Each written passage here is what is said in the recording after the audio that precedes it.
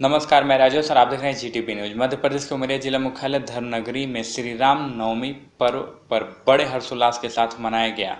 वहीं राम भक्तों के द्वारा शहर में विशाल शोभा यात्रा निकाली गई। इस अवसर पर सैकड़ों लोग शामिल हुए। इसी दौरान सुप्रसिद्ध महाराष्ट्र से आए हुए शिव गर्जना ढोल नगाड़ों के साथ भक्ति के रंग में डूबे लोगों के द्वारा आरती वंदना की गई। आरती समापन के बाद शोभा यात्रा प्रारंभ हुई। शोभा यात्रा गाजा बाजा के साथ निकाली गई। शोभा यात्रा के दौरान घोड़े और रथ भी शामिल थे। सुसज्जित घोड़ों पर युवक हाथों में भगवा झंडा लिए हुए थे। रथ पर सवार राम सीता के साथ सैकड़ों राम भक्त युवा बच्चे और बुज़ुर्ग जय श्री राम के नारे लगाते नज़र आए।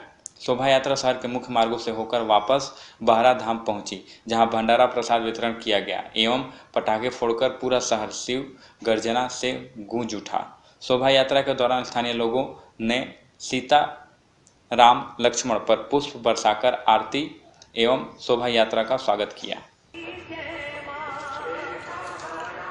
सर आज की जो शोभा यात्रा निकाली गई है, इस संदर्भ में बताएँ।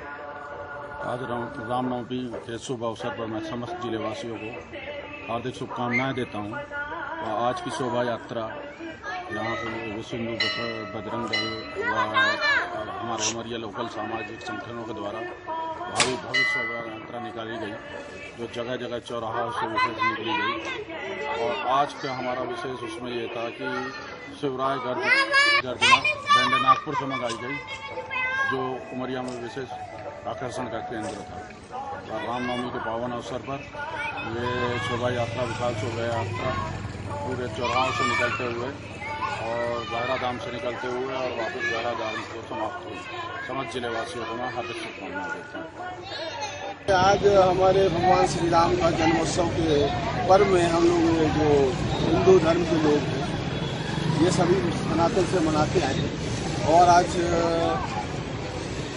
उनका जन्म दिवस है। इसी परंपरा को आगे रखते हुए ये शोभा यात्रा निकाली गई।